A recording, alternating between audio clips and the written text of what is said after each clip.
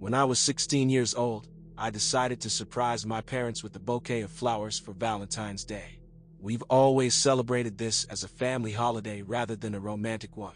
I didn't have a car to drive to a florist, but my high school was within walking distance of a hospital boasting a gift shop that sells floral arrangements.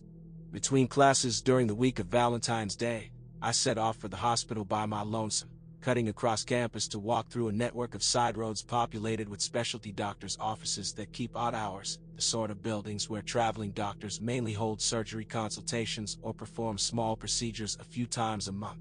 The trip there passed without incident. As I was walking back through said deserted roads with a vase of flowers in tow, I noticed an unkempt 1990s car close behind me.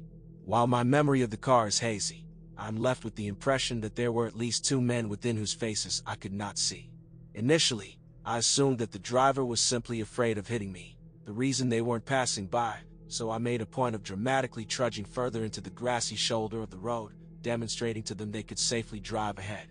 They still refused to pass me by, continuing to creep along behind at a slow pace. Beginning to suspect that the driver was more interested in me than a destination, I began to walk faster. The car confirmed my suspicions by matching my speed. Despite the impracticality of my shoes and the threat of spilling water from my vase, I commenced to run as fast as I possibly could. They hit the gas and again matched my speed.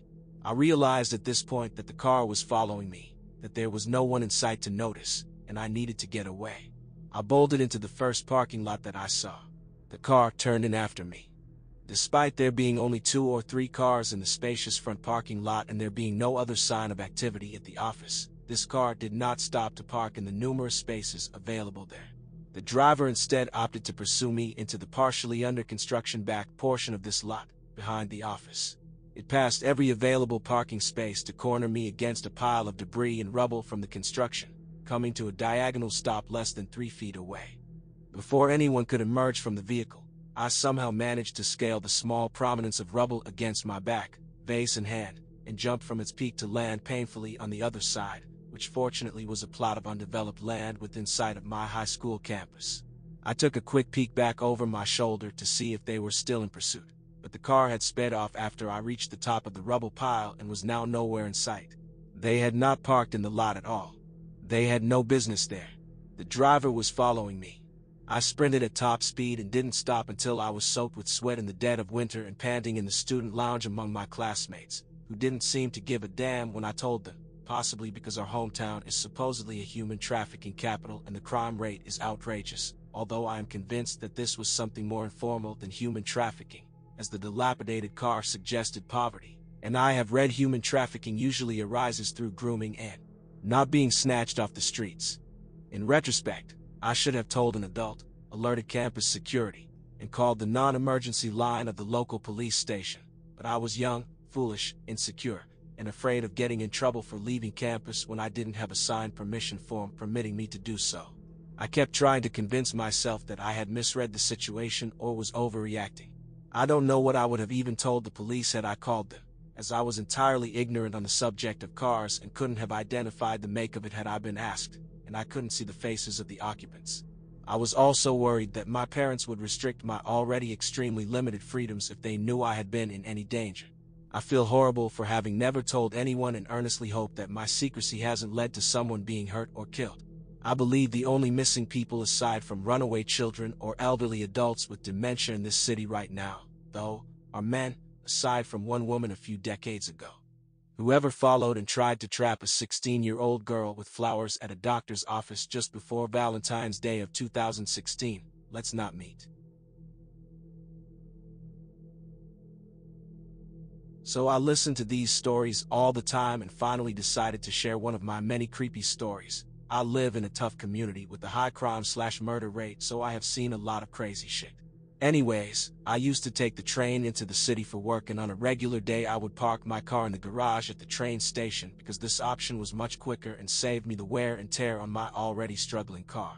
On this day my car was in the shop getting worked on so I had my girlfriend drop me off at the train station and asked my father to pick me up in the evening. Now my father is notorious for being late and despite my telling him I would be there 30 minutes before my train arrived when I got onto the platform and he was nowhere to be seen lol. I called him asking how long he would be and he gave me the typical grunt and responded, soon.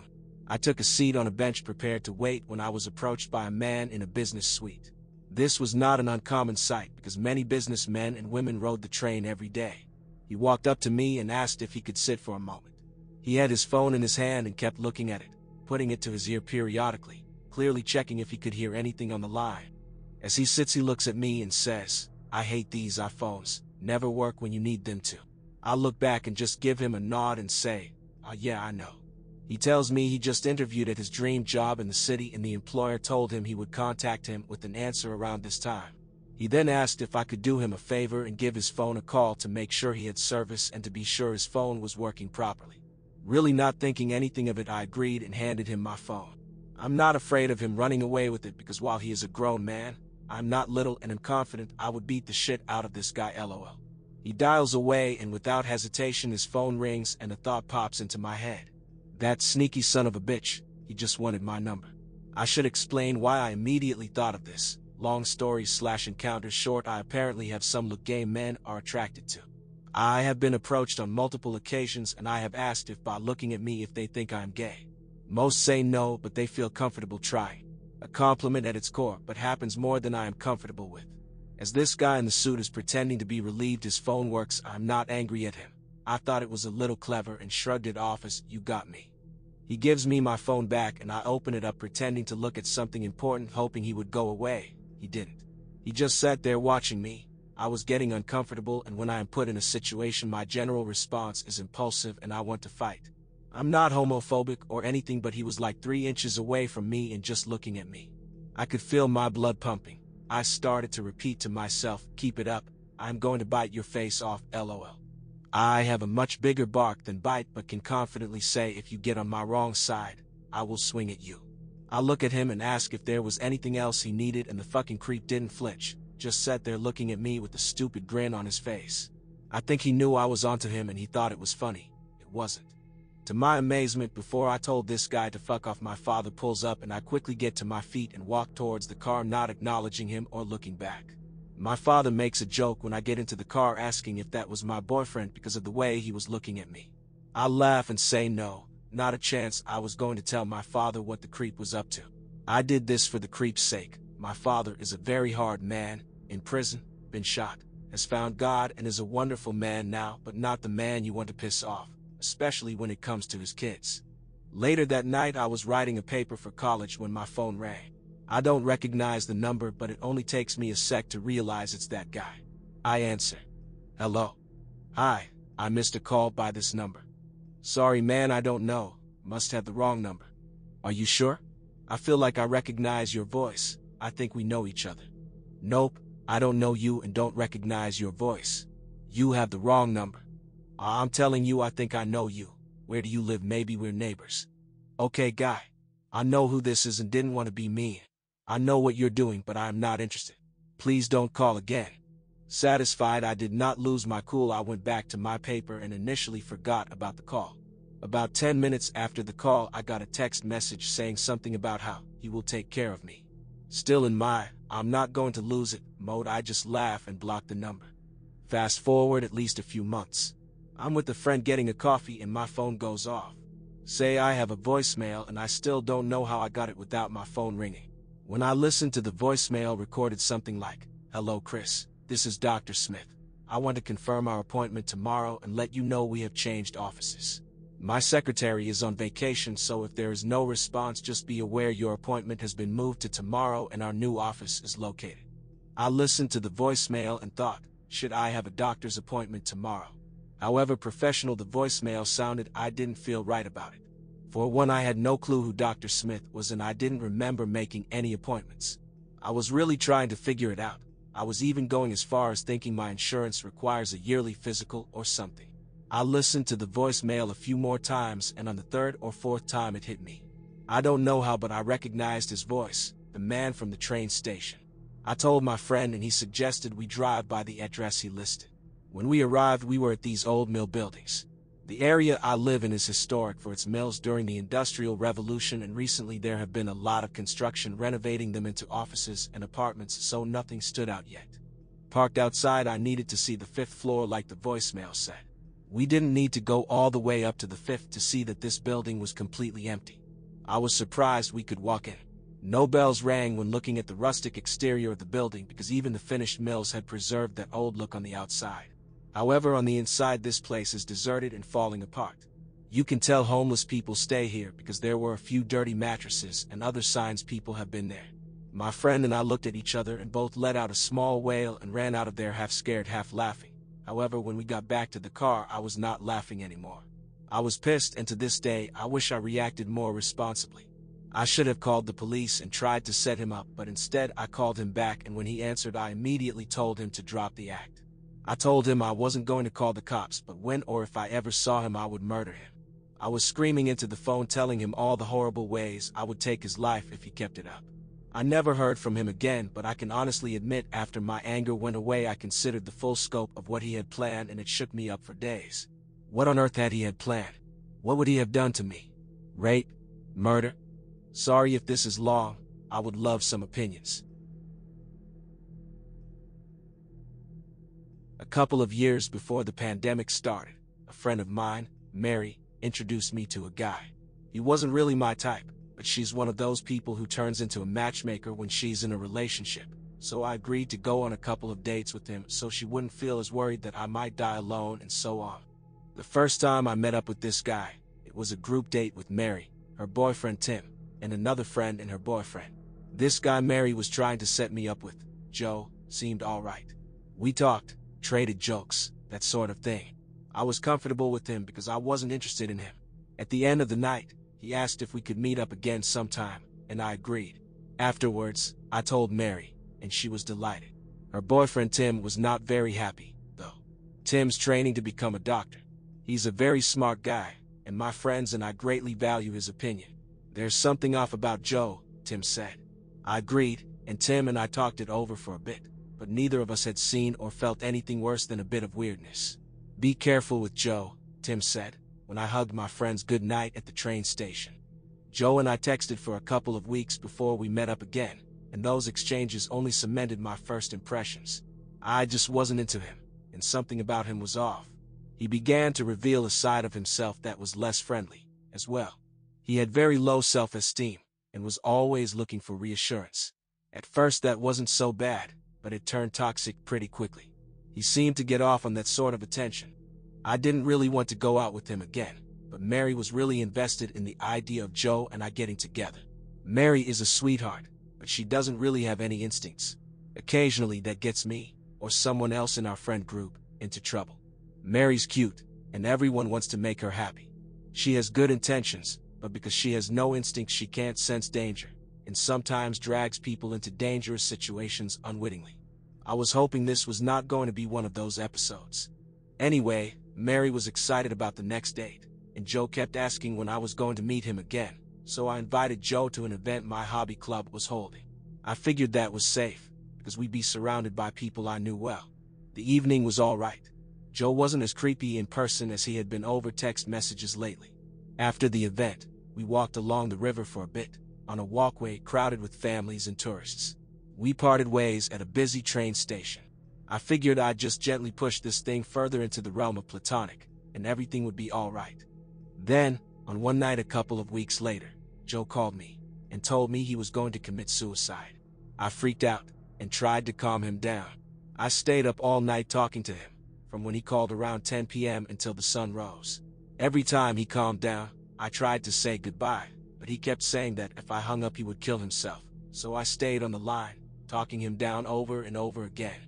Something about the situation felt wrong, but what else was I going to do? I wouldn't leave anyone to commit suicide. As I sat on my patio, watching the sun rise over the forest behind my house, he finally let me off the hook.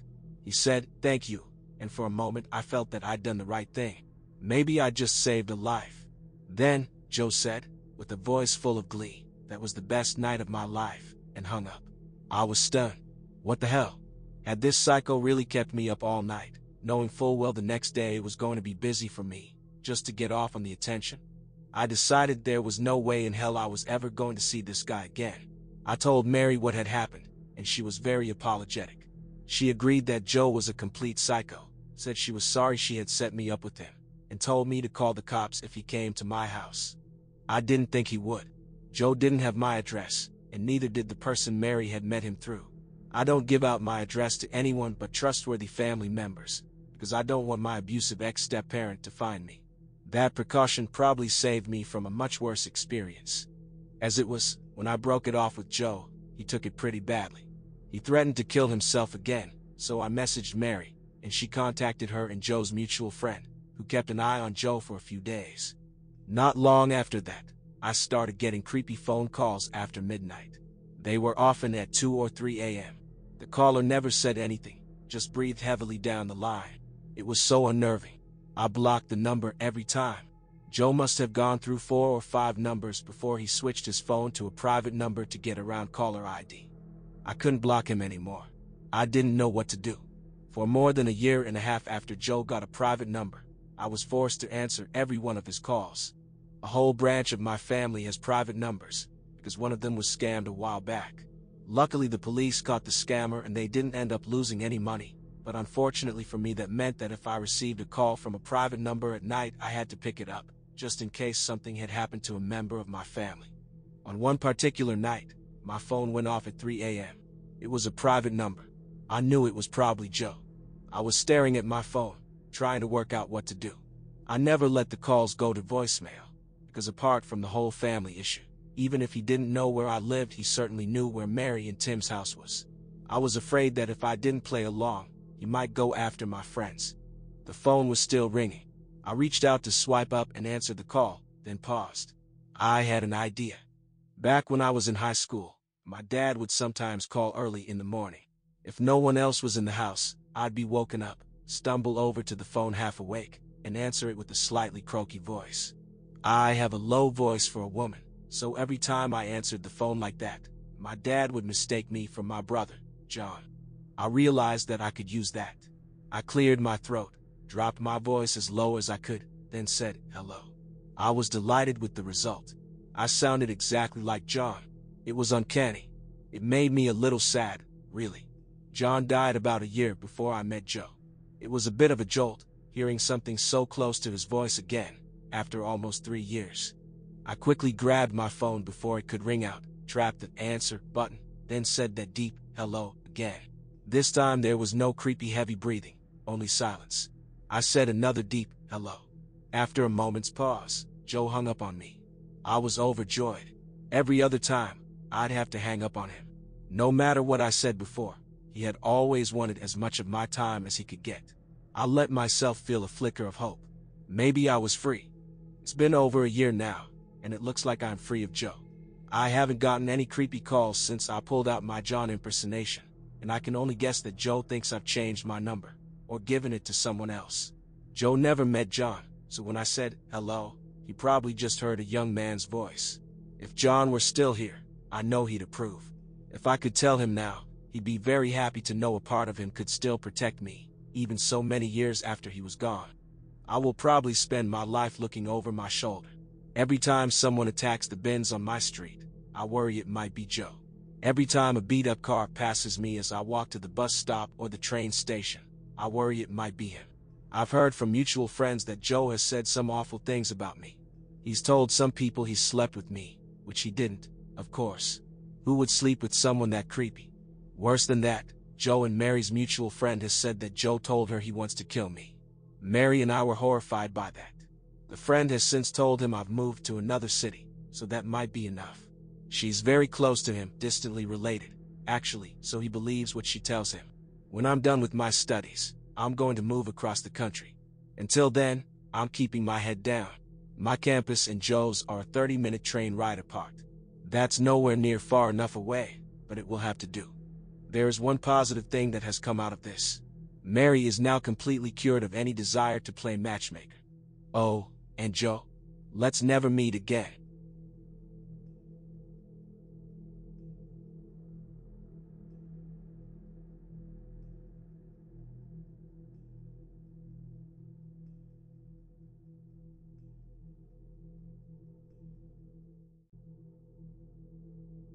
When I was 10, my parents and I went to visit my grandmother for spring break.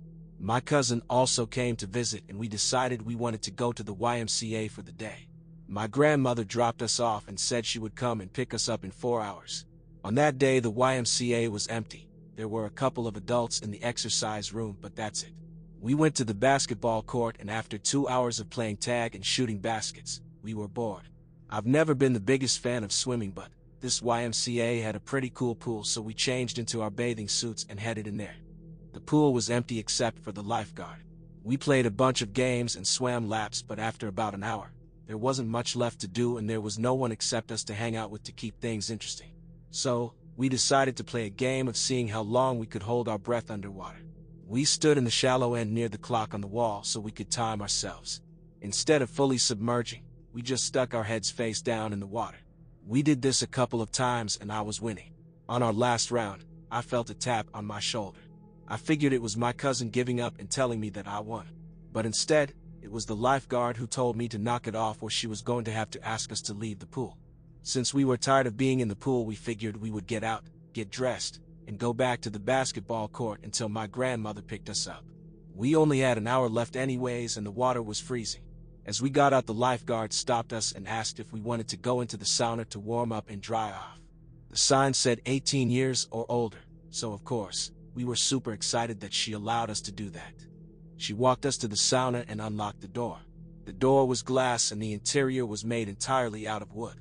Inside, above the door, there was a clock, probably to help make sure you were not in there for an unsafe amount of time. The lifeguard stand was adjacent to the sauna, but if you looked out the door, you could clearly see it. She followed us in and went over to the thermometer encased in plastic and unlocked it so she could crank up the heat. I figured that she must have to turn it on each time, so I didn't think anything of it. Both my cousin and I were very short girls, and so we couldn't see the temperature that was printed on the thermometer knob, but I knew she was turning up the heat. Then she left and shut the door behind her. I thought I saw her lock the door too, but I thought to myself, why would she lock the door when we might want to get out? I checked the clock and decided we should get out in 10 or 15 minutes. It was already plenty warm in the sauna, but now the room was blazing. It felt nice because I was so cold from the pool. After about 15 minutes, it was starting to get a little bit too hot, and my cousin agreed that we should leave so we could get dressed. I went to turn the knob on the door, but it wasn't budging. I thought maybe it was jammed, so I shook it, but it still wasn't opening, and then I let my cousin try. She couldn't get it open either. We figured the lifeguard would be back in a couple of minutes, so we sat back down and waited. The room was getting hotter now too, and I really wanted to leave. I got up and started banging on the door and shaking slash twisting the knob trying to get the lifeguard's attention. My cousin got up and joined me. We started screaming at the top of our lungs for her to let us out, but she just stared straight ahead. I don't think there's any way that she couldn't have noticed or heard two little girls banging and kicking the door and screaming. Now we had been in there for about 25 minutes. It was so hot in the sauna that it hurt to breathe. It felt like my lungs were on fire. My eyes and skin were burning. We sat back down and put our towels over our heads because they were still a little damp and it made it easier to breathe. I was so worried about my cousin as she is a couple of years younger than me. I looked at the clock and saw that we had been there for 35 minutes. I got up and walked to the door again and saw the lifeguard still just staring straight ahead. Again, I tried to get her attention by screaming that we needed out and banging on the door as hard as I could, but still nothing. I was starting to get pretty dizzy so I went to sit back down, but the wooden seats of the sauna burned my skin. My towel was completely dry so I put it underneath me to sit on. My hair was also dry, but I wrapped it across my face to cover my nose and I squinted my eyes so that they didn't burn as badly, but I could still watch if anyone walked past the door. It helped a little bit. My cousin was laying face down with the towel over her head not moving or saying anything so I nudged her to make sure that she was still okay. She was, but I could tell that we really needed to get out of there soon because she seemed a bit disoriented. It had been 45 minutes now and I was extremely nauseous. There was no way that the lifeguard would forget that we were in there and I thought she would have to come back soon, but there was this little voice in my head telling me that maybe she purposely locked us in there. Finally, a man walked past the door towards the pool, but for some reason, I just couldn't get up. My whole body was on fire and I felt so dizzy. Luckily, this man wasn't going to the pool. He wanted to be led into the sauna and came back with the lifeguard. I saw them walking this way and immediately jumped up to grab my cousin. I knew now that for sure she had locked us in there because she pulled out her keys to unlock the door and let the man in. I didn't want to take any chances of us being trapped in there any longer so as the man was trying to walk in, I was trying to shove our way out. As we were going out the lifeguard started trying to shut the door and push us back with it. The man was clearly confused about what was going on and said, um, I think they want out. The lifeguard let out a sigh and opened the door fully and we ran away as fast as we could into the changing room. We only had about 10 minutes before our grandmother was supposed to pick us up. We were both so shaken by what just happened that we didn't say anything to each other as we got dressed or on the car ride home. When we got back to the house, my parents were making us dinner and I told them the story of what just happened. They thought that I must have been exaggerating and they didn't believe me. I truly think that that woman was going to let us cook alive in there. The only bit of doubt that I have is what would have happened if we actually died. She obviously would have gotten the blame. What was her end game? I'm 21 now, but I think about this interaction all the time and when I'm in small spaces or I get too warm, I still have panic attacks. No one believes this story, and I get it. It's pretty absurd. I'm not sure if I'm allowed to ask for opinions, but do you think that this could have been some crazy misunderstanding or do you think that she really just left us there to die? And why? So, to the lifeguard at that YMCA please let's not meet again. I've never posted before, so forgive me. This happened when I was 13 and in Egypt on a family holiday. I'm blonde and short, so stuck out like a sore thumb and received a lot of unwanted creepy attention. My little brother is also blonde and we were traveling with our mom so a lone female with two little blonde kids was unseen back then. Anyway, daily I was touched and photographed and my mom was even offered money to buy me but this was all taken in my stride as I understood I was like an alien to them. I noticed however this one cleaner in our hotel was always around us. Always watching. One afternoon I ran up to the hotel room with my little brother to grab a float for the pool and while we were in the room there was a knock on the door. I had a peek through the spy hole and saw the male cleaner. He shouted, clean towels, but I could clearly see his hands were empty and there was no cart beside him. I shouted back, no thanks, and thought this would be the end of it. No. He shouted again, towels. Opened the door, but I obviously didn't and just ignored him this time. Then he tried the door. I panicked and adrenaline kicked in. I shut my little brother in the toilet and told him to lock the door. Looking back now, I don't know why I didn't get in the bathroom too. I wish I did. I pushed the chair I was using to spy against the door and went to the balcony to look over for my mom at the pool. The next thing I knew he was in the room. He didn't have any towels. He said he wanted to show me how to make swans from the towels I had. I again said no thanks. He insisted and grabbed a towel from the bed, already in a swan shape, and unraveled it. He stood behind me so my back was to his front and put the middle of the towel edge in my mouth. He started to pull the edges of the towel inwards, pulling me into him every time. I realized now what he was really doing. He twisted it and twisted it with such force I was being jolted backwards and forwards. I was terrified and could feel the tears in my eyes. Then my mom came into the room wondering why we were taking so long. She saw the man standing with me and demanded he leave. She stormed down to customer relations and went mental at the staff, but from recent conversations about it I've learned nothing happened to the man and my mom was told it's how men are sometimes. We were petrified to go anywhere the rest of the holiday and stayed away from the hotel as much as possible after this. My mom also learned not to tell anyone when she's traveling alone and never let us go to the room by ourselves. When I was about 8 to 9 my family took a trip skiing to a small resort a couple of hours from where we lived in Spain. The resort itself was a sleepy little town of about 400 to 500 people max, with a few small supermarkets and hotels, and not much else. Typically, we picked the worst time possible to embark on the trip, which we had been planning for a good few years. The night after we arrived there was a blizzard, and so we spent the first half of the week locked in the hotel. Although we were able to go outside for the remaining few days, we had little to do given that the slopes were shut. The story I want to tell comes from those first few days locked in the hotel. Despite my parents' annoyance at the timing of the trip being a nightmare, myself and my sister, who is 11 months older, were having a fantastic time. Locked up in the mountains with nothing to do, we were able to spend our days running around the hotel, eating sweets and watching the TV in the lobby. I should probably mention at this point that the hotel was somewhat of a maze. The large bar slash restaurant area where my parents sat each day reading was at the center of the hotel.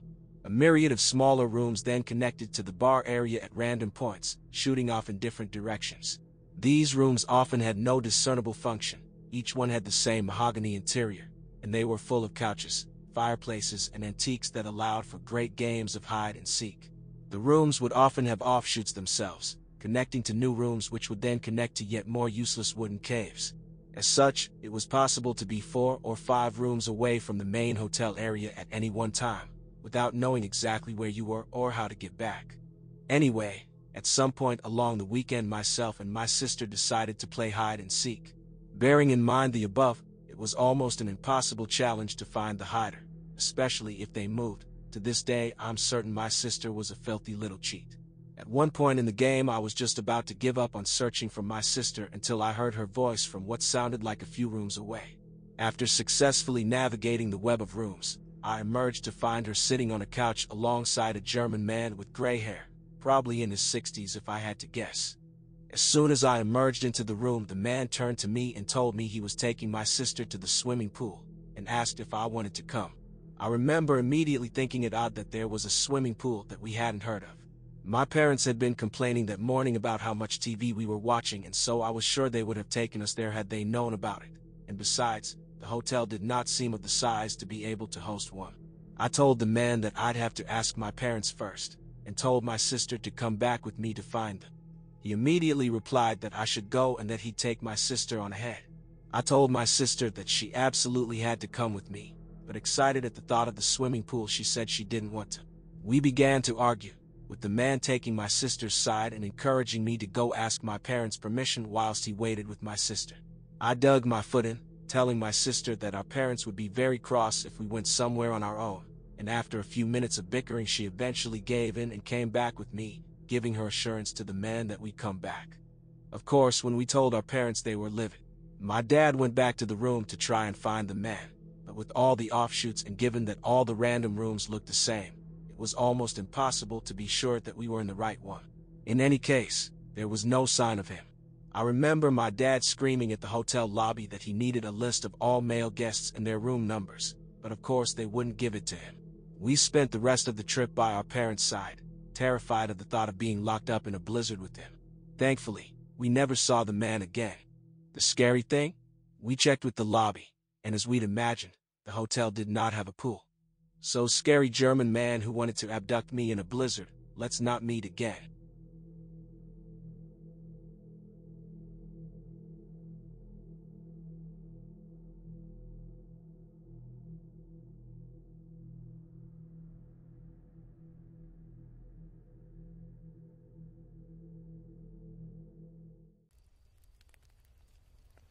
In 1988, 22-year-old Lisa Leanne Atkins was busy raising her 13-month-old son, Scott, in Tucson, where they lived. Lisa was known to be light-hearted and fun-loving, and she absolutely loved animals so much so that she sought out employment at a local pet store, Village Pet Market, on Orange Grove Road. Lisa was fortunate to have her own mother close by, who would help out with watching the baby when Lisa needed to go to work. Things were going well for the family around this time, but Lisa's mother, Martha, noted that Lisa's fun-loving demeanor was beginning to change leading up to Easter of 1988. She claims that Lisa began to withdraw and distance herself from her loved ones. Martha believes that Lisa had a feeling, or a premonition, of what was to come, saying, I believe she thought she was going to die because she kind of distanced herself a little bit. Last few months, she was a little less close. The murder. On April 4th, Lisa went to work at Village Pet Mart for her scheduled shift working with another employee at the shop. During the middle of her shift, Lisa decided to phone her mother to check in on Scott, to see how he was behaving for her. The two spoke for a while, with Martha mentioning that she had just put the baby down for a nap, and he was sleeping peacefully. Martha and Lisa agreed that they would meet up once Lisa's shift was over, in order to go and cash Martha's IRS check, before they hung up the phone. Returning back to the cash register, Lisa was chatting with her coworker when an unknown man walked into the store. The man, wearing a hoodie, walked directly up to them and proceeded to pull out a gun, demanding all the money in the cash register. Frightened, Lisa's coworker fumbled with the keys before dropping them, and as soon as he bent down to pick them up off the floor, the man shot Lisa in the head. The man then fled the store with the day's receipts. This man was described as white, with a beard and sandy blonde or brown hair. He stands about 5 feet 11 inches, weighing roughly 170 pounds, and between the ages of 25 to 30. He was believed to be driving an older model, green pickup truck, with either a white camper shell or wooden side panels. During the time of the murder, Martha was lying down, taking a nap with Scott. Lisa's younger sister, Katrina, was outside the home riding her new bike when she had overheard that something had happened at the shopping plaza where Lisa worked. Katrina became concerned and quickly rode her bike over to Village Pet Market, only to be met by squad cars and police officers. The officers didn't allow Katrina to enter the pet shop, but instead the district attorney's office and victim's witness officials escorted her back home. Martha stated that as soon as she opened the door to find Katrina and the police there, she knew that Lisa was dead. Closing. Scott was raised by his grandmother Martha and grandfather David, alongside his aunt, Katrina. Martha described how difficult it was to explain to Scott what happened to his mother as he grew older. She recalled many moments where Scott would ask about his mother, and if they ever caught the man responsible for her death, and every time he asked, she would have to tell him no, not yet. But they were still hopeful. Thirty-four years have since passed, making Scott 35. Now, he is married and raising his own two children. Martha spoke about how difficult each year is that passes, saying, It's been so long it's almost like the memories are gone, I'm afraid. But, Martha keeps the memories that remain close to her heart, the memories of Lisa's love of crocheting, animals, arts and crafts. She thinks fondly back on the memory of gifting Lisa a kiln for her 16th birthday, in order to foster her love of ceramics and her creative spirit. And mostly, the love that Lisa had for her son, and the love that Martha has, and always will have, for her daughter. 28-year-old Franklin Mott Jr. was a bank teller at Valley National Bank in Tucson, Arizona, where he lived in 1957. He originally hailed from New Jersey, where he was born into a prominent, wealthy family, but moved west when he was six years old. He spent time in New Mexico before making his way to Tombstone, Arizona, and then Tucson. Those around him described him as a kind man with a dry sense of humor, who was shy around women. A prior friend noted that despite coming from a wealthy family, Franklin was very proud of his modest living in Arizona, making his own path in life and living it to the fullest. She considered him to be idealistic, describing him as like a teen, where the stardust hadn't yet been knocked out of his eyes.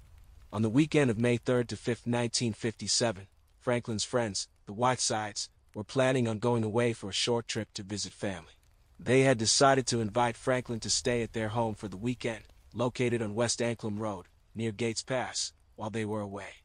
Franklin agreed and spent two nights in the Whitesides' home before they returned around 5 p.m. on Sunday, May 5th. Upon their return, they spent roughly two hours chatting with Franklin before he decided it was time to head back to his own home and got into his Studebaker and drove away. This was the last verifiable sighting of Franklin before he was murdered. On May 6th, when Franklin didn't show up for work at his branch in downtown Tucson, his supervisor phoned John Whiteside, who was not only Franklin's friend, but also the head of the bank's university branch. The supervisor requested that John make the short drive over to Franklin's home to check on him and make sure everything was all right. John agreed and arrived at Franklin's apartment around 8:45 a.m., where he found the door closed but unlocked. When he knocked and didn't receive an answer, John opened the door and entered the apartment, calling Franklin's name. Again, receiving no reply, John proceeded through the apartment, where he discovered a startling scene in the bedroom. Entering Franklin's bedroom, John discovered Franklin lying face down on the bed, with his wrists tied to the posts of the bed with a heavy nylon cord. The cord also extended up to his neck, where it was looped around and tied underneath his chin. Dried blood was caked on Franklin's right ear and side of his head, and it was obvious that he was no longer alive. Panicked, John proceeded out the front door and knocked on the landlady's door which was adjoined to Franklin's apartment, in order to notify someone when he received no answer. John drove back to the bank headquarters where they called the police. When police arrived on scene, they noted it didn't appear that a struggle had taken place. All the lights in the apartment had been left on, and the TV set was still playing. However, the back door was left ajar about three inches. The cord that bound Franklin's hands to the bed was 68 feet long, curled up on the foot of the bed, and Franklin's shirt and pants were tossed on a chair next to it. Franklin was wearing a t-shirt and shorts, and near his head laid a green bath towel, with a blackened hole in the middle of it. The t-shirt he was wearing, along with the shirt tossed on the chair, both had smeared lipstick stains on them. The lipstick marks were a point of interest to investigators, as Franklin was known to not often socialize with women in a romantic sense. The bullet that had killed Franklin was discovered underneath his body, lodged deep into the mattress, but the murder weapon itself was missing. Officers searched for fingerprints inside the apartment, but came up empty-handed with results. They did note that Franklin's keys, wallet, and watch were missing from the home, but despite this, officers felt this was a crime of passion, rather than a robbery. An autopsy was performed on the body, which showed that the bullet entered Franklin's right ear and exited his skull about two inches above his left ear. They determined that the murder weapon would have been a 4 and 9 millimeters pistol. They also took tissue samples to test, which concluded that Franklin did not have any alcohol in his system, but strangely, they did find chloral hydrate, used to render him unconscious. There were no marks, scratches, or bruises anywhere on Franklin's body, leading them to believe he may not have fought back. Testing of his stomach proved that Franklin had eaten a meal about two hours before he died, with an examiner stating that he had about half a pint of food in his stomach, not yet digested. This would become a topic of discussion, as Franklin did not eat dinner with the Whitesides, and it was unsure where he may have stopped to dine. There was no evidence that Franklin had eaten inside his apartment that evening. Investigators wanted to look closer at the evidence, starting with the cord that bound Franklin's hands. They learned that it was manufactured in Los Angeles. One of the lead detectives made a trip to L.A., visiting the headquarters of the manufacturer, and tried to determine if any of Franklin's acquaintances may have bought such a lengthy piece of rope. This lead also left police empty-handed. Investigators spoke to witnesses and others living in the apartment complex, which provided them with new details. One woman said that she heard a loud noise coming from the apartment between 9.55 to 10.30 that Sunday night, which police believed to have been the fatal gunshot. Police quickly came to a standstill in the investigation, not even a year after the murder. With no known motive, they were unable to gain any traction in the case. Rumors circulated, with officers taking on a wild goose chase in order to find an unidentified man who apparently had visited Franklin's apartment a week prior. Who this man was, and why he visited Franklin, is still unknown. They contemplated the lipstick stains on Franklin's shirts, wondering if this was a rendezvous gone wrong, a crime of passion. To this day, the case is still unsolved and seemingly forgotten by most. Franklin never received the justice he deserved, and most of his friends and family have since passed without answers as to who killed him that late spring evening in 1957.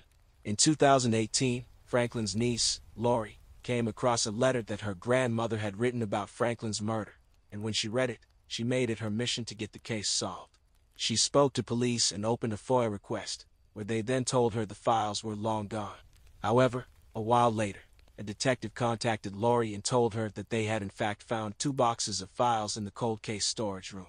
This prompted the police to reopen the case, with them even going as far as executing a search warrant on the home of two original suspects, though names aren't listed. This did not lead to anything substantial, but it did prompt the police to continue looking into the murder of Franklin Doane Jr. A package lands on the doorstep having just been delivered by the postman. It is wrapped in brown paper and addressed to the owner of the house in handwritten block lettering. Thinking nothing of it, the recipient grabs the package and hastily opens it. A book lies inside. It feels strangely light, but there is nothing immediately untoward about the event. But when the cover is flipped open, that quickly changes. The book has been hollowed out, its pages replaced with an improvised explosive rigged to detonate once the cover is opened. Three rifle cartridges are fired outwards in a cloud of gunpowder and smoke that shred anything in their path. In 1982, Joan Kipp received such a package, which sadly took her life. The event seemed isolated for a time until, 11 years later, other explosive packages began falling through letterboxes across New York.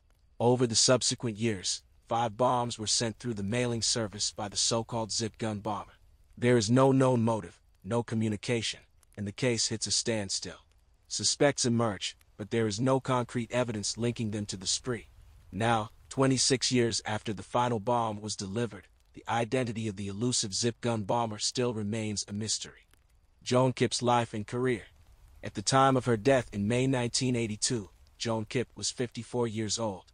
She spent most of her life living in Brooklyn, New York, where she also met her eventual husband, Howard. The two subsequently got married and had two children, a daughter named Doreen and a son named Craig. Doreen was in her 30s at the time of her mother's death and lived in Connecticut, whilst Craig was several years younger and still lived near his parents in the Bay Ridge area. Both were married and had their own respective families. Howard Kipp also owned a marine consulting business of which Craig was an employee for a time. From the outside, life appeared to be both prosperous and contented for the Kipps. Outside of the family, Joan worked as a guidance counselor at a local high school, a position she had occupied for 15 years.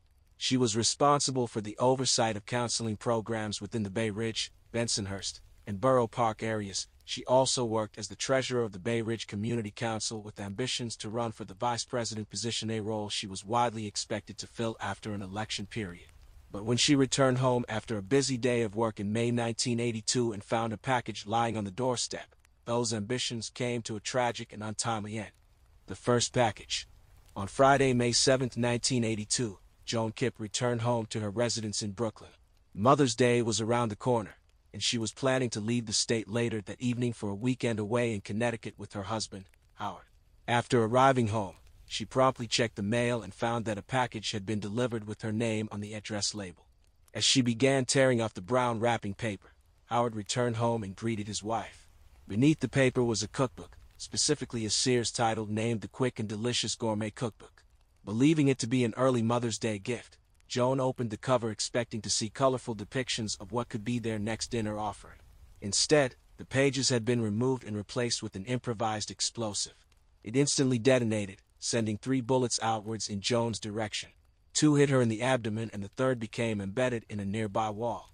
The explosion also caused burns to Joan's chest and hands, and she fell to the floor amidst the smoke and carnage. Upon hearing the calamity, Howard rushed to Joan's side to find her bleeding and in shock. He called for an ambulance and later recalled how, as the pair were waiting for medical assistance, Joan spoke to him, saying, Look at what they did to me. There may be others. Joan was rushed to the nearby Lutheran hospital and entered surgery at approximately 7.45 p.m. that evening. Sadly, however, her injuries were too extensive and she passed away, kick-starting the investigation into her death. The police investigation and analysis of the bomb. After launching an investigation into Joan Kipp's murder, detectives quickly focused on the design of the explosive itself. A 6-volt battery had been wired to several metal tubes that contained explosive gunpowder and .22 caliber rifle shells. When the cover was opened, the battery was activated, sending an electrical current into the makeshift gun barrel and releasing the shells. The bullets were fired upwards at an angle corresponding to where the victim's chest would be. The device had clearly been manufactured with the intent of maximizing the prospect of physical injury. The design was relatively simplistic and the parts needed were not difficult to obtain, but the maker still required knowledge of electrical wiring in order to fashion the device. Additionally, detectives found that the package had been mailed out of Staten Island and had traveled through the Postal Service before arriving at the Kipp household around noon on the day Joan was killed. Remnants of a note were also found amongst the bomb shrapnel, which when reassembled read, Dear Joan, you're dead. Note, some sources also say fragments of the book contained a warning that Howard and the two children would be targeted next. Had the bomb been a terrible prank that had gone awry? Detectives considered the prospect, believing that Joan herself may have believed such a notion. As she lay dying, she reportedly told her husband Howard to contact local school officials as other bombs may have been sent. Regardless of the motive, no other bombs were discovered nearby and the investigation began to grow difficult for detectives. Despite their lack of leads, detectives continued their investigation. Their focus gradually began to concentrate on Joan's immediate family, namely her husband and their two children. Howard later recalled how he fully complied with their requests. He provided them with Joan's personal diary and a key to his shop so officers could look for evidence. He did not ask for a search warrant. Doreen was also brought in for questioning on the same day as her mother's funeral. It is because of this timing that she reportedly grew combative towards the investigation, urging her father and brother to do the same. Detectives could not locate any evidence to link either Howard or Doreen to Joan's murder. However, their focus narrowed on Craig Kipp, and he eventually became their prime suspect. Craig Kipp was 28 at the time of his mother's death and lived just a few blocks away from his parents in Brooklyn. He had also spent some time working in his father's business, where he worked on boats and ships and had experience with electrical wiring. However, he was eventually dismissed from this position, and detectives believed this may have caused him to become resentful of his parents. As such, he became their primary focus. With the suspect now in mind, detectives began attempts to connect Craig Kipp to his mother's murder. A scent tracking dog alerted to Craig's scent on the packaging the bomb had been sent in, although this was not considered damning in the absence of other, more concrete, evidence. Also, a handwriting analyst suggested that the writing on the note found with the bomb was similar to Craig's. It should be noted, however, that subsequent analyses conducted over a year later came to an alternate conclusion, that the handwriting was not similar, and that analyzing block lettering is exceptionally difficult. This finding, therefore, is contentious. Finally, when officers requested Craig Kipp take a polygraph test, he declined, which of course was his right to do. After several weeks of investigation, detectives felt confident in Craig's guilt and he was arrested on August 9th, having been charged with mailing injurious articles a charge with a possible life sentence attached in the event of a guilty verdict. Had the police found the man they had been searching for after all? Craig Kipp's arrest caused significant unrest within his family. Prosecutors at Craig's trial stated that they believed Craig and his mother had a turbulent relationship full of hatred and bitterness. Howard Kipp, however, disputed these claims, stating that the pair occasionally had arguments but nothing unusual. Additionally, Howard claimed that Craig's dismissal from the marine business was amicable and that his son had only been fired because he was unsuited for the position and struggled with the electrical engineering work required. The prosecutors also claimed that Craig may have had a drug problem that could have explained his actions. Both Howard and Doreen, however, also disputed these claims. Craig sometimes smoked weed, they said, but he did not have a dependency problem. In the absence of any solid evidentiary links between Craig Kipp and the bomb that killed his mother, the charges against him were ultimately dropped in June 1983 and he was released from custody. The identity of Joan Kipp's killer remained unknown. With no further evidence or suspects, Joan Kipp's murder case began to grow cold. No further bombs were found in the subsequent years, leading many to believe the brutal slaying had been an unfortunate isolated incident. Both Craig and Doreen Kipp returned to their families, and Howard Kipp left the house he shared with his wife and moved to Massachusetts, where he later remarried. The two children would also move out of state in the preceding years. The family held hope that Joan's murderer would be found, resolute in their belief that nobody in the family was responsible, but the years went by with no explanation for what happened that fateful day. Eleven years passed with no further incidents. But then, in October 1993, the Zip gun bomber made their return. The bomber returns 11 years later. On October 15, 1993, 68-year-old retired sanitation worker Anthony Lenza went on holiday to Pennsylvania with his wife, Connie.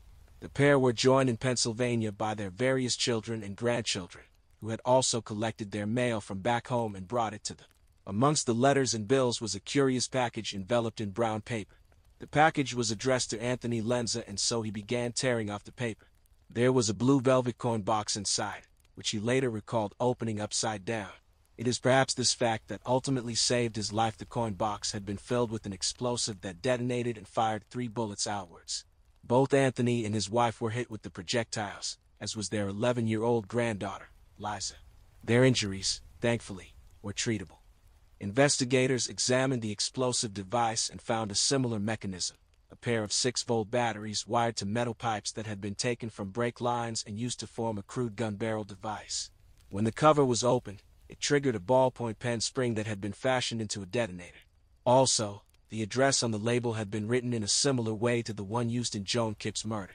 The similarity between the devices was noted, but investigators could find no connection between the two families to explain why they had been targeted and why such an extensive period of time had elapsed between the first and second bombs being delivered.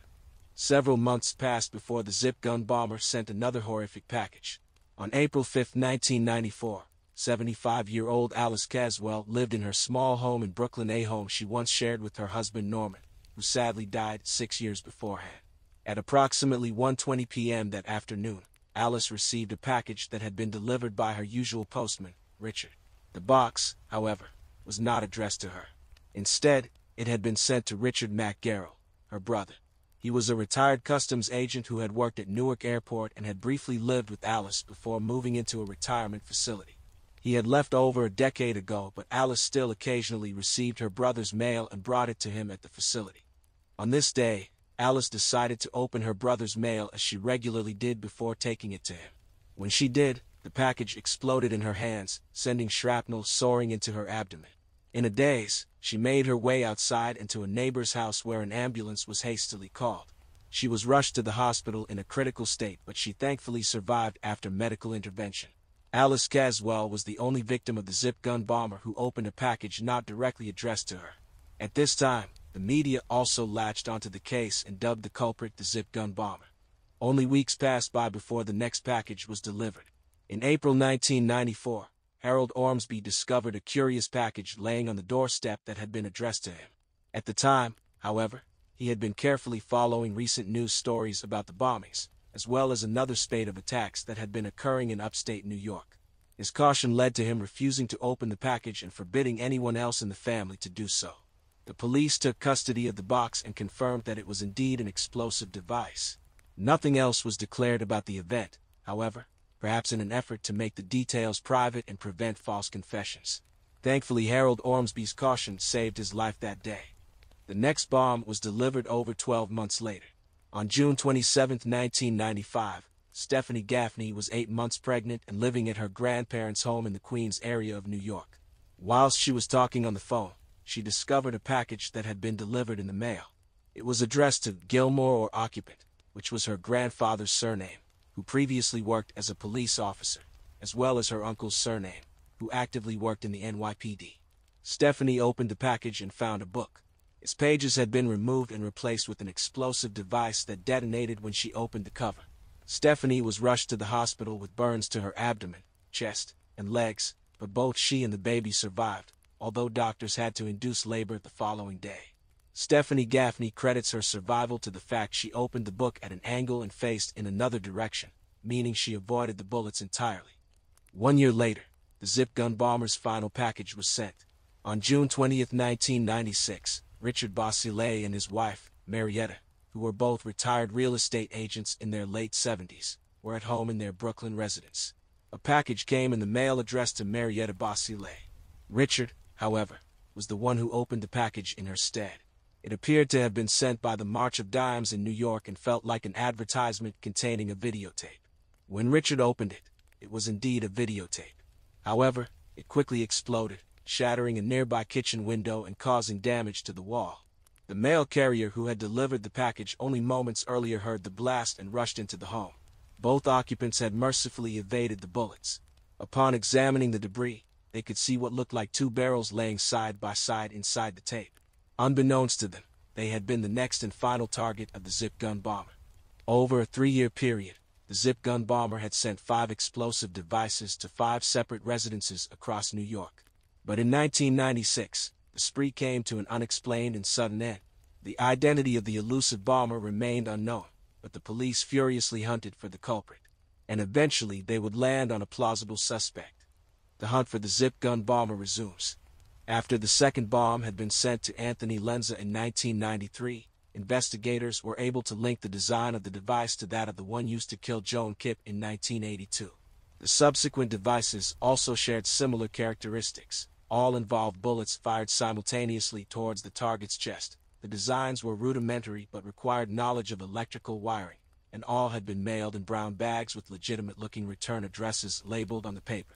Greg Radigan, an investigator for the U.S. Postal Service, described how all of the packages had been designed to look like they were offering a gift and had eye-catching prints on the front to capture the target's attention.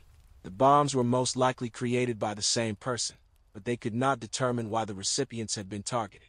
The bombings seemed random, which caused a problem in determining the identity of the sender.